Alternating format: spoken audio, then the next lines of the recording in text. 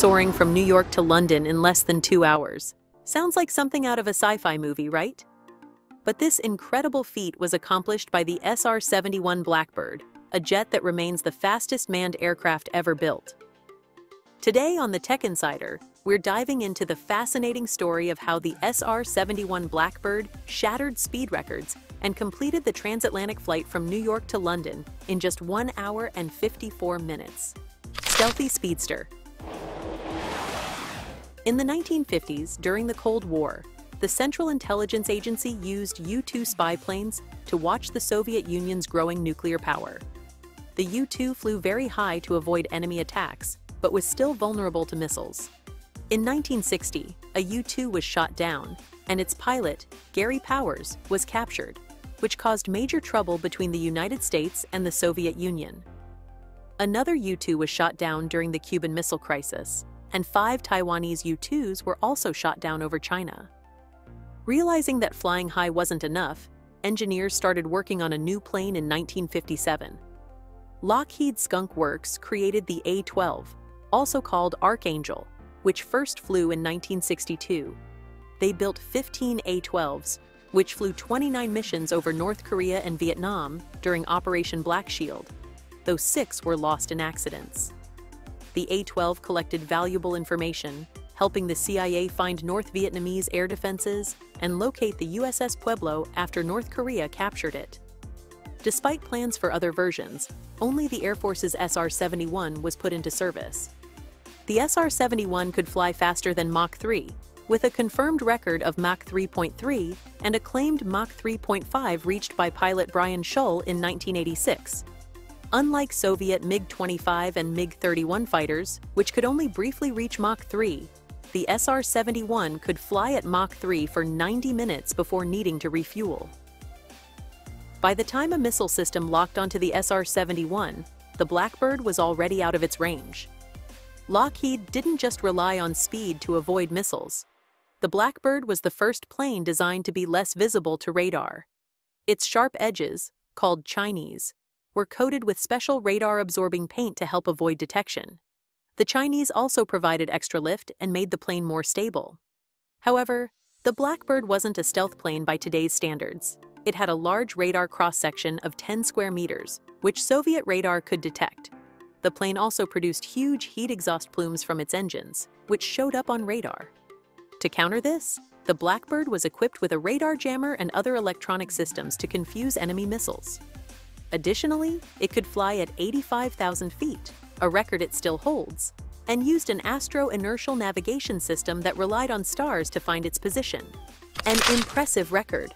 The development of a supersonic jet engine was a significant challenge, as rocket-powered aircraft like the North American X-15 flowed faster than the SR-71. The challenge was to create an air-breathing jet engine that could fly at speeds slower than Mach 1, as supersonic air can cause an unstart and require engine restarting. To control airflow into the massive jet engines, a more complex inlet was needed, with a spike-shaped cone at the front of the air inlet that could be moved back and forth to control where the supersonic shock wave would enter the engine. By carefully monitoring the aircraft speed, atmospheric conditions, and engine parameters, the pilot could adjust the spike along with a series of doors located along the outer walls of the inlet.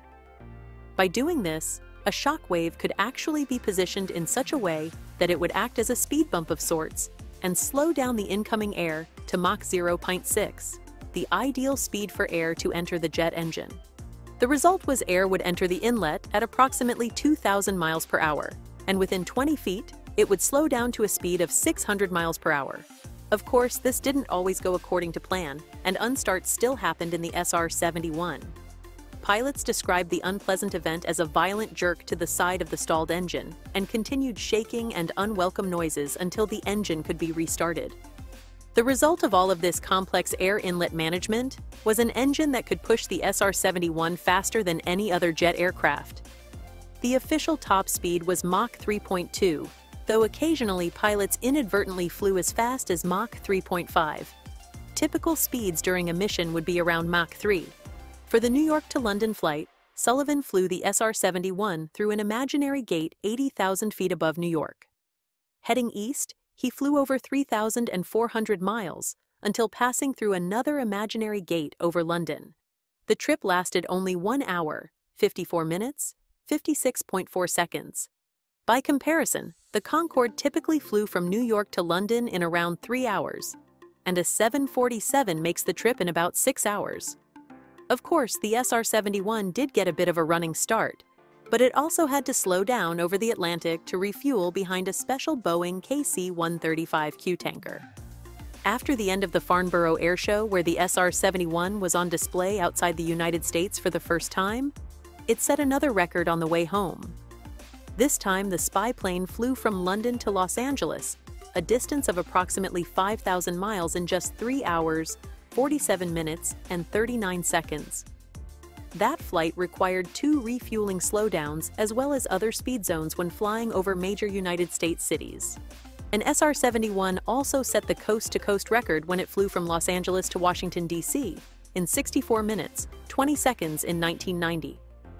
While the SR-71 was retired in the late 1990s, its legacy continues to inspire modern aviation technology. Today, drones and advanced reconnaissance aircraft owe much to the innovations pioneered by the Blackbird.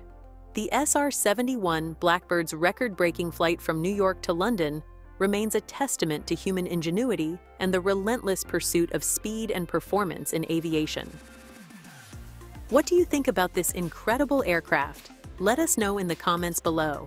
If you enjoyed this video, don't forget to hit the like button, subscribe to the Tech Insider for more amazing aviation stories, and let us know in the comments which aspect of the SR-71. Thanks for watching, and we'll see you in the next video.